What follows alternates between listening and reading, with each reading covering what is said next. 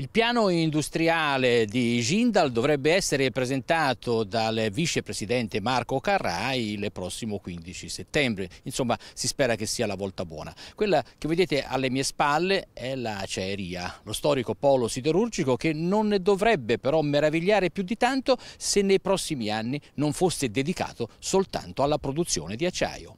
Un rigassificatore, un centro di restyling per grandi navi, la realizzazione di un polo di costruzione traghetti e persino la produzione di energia pulita attraverso l'installazione in mare di un considerevole numero di pale eoliche. Sono le anticipazioni filtrate dallo staff del vicepresidente esecutivo di JSV, che ha comunque confermato anche l'impegno ad andare avanti con un forno elettrico per la produzione dell'acciaio. Potrebbe essere interessante se c'è un piano industriale riguardo alla siderurgia.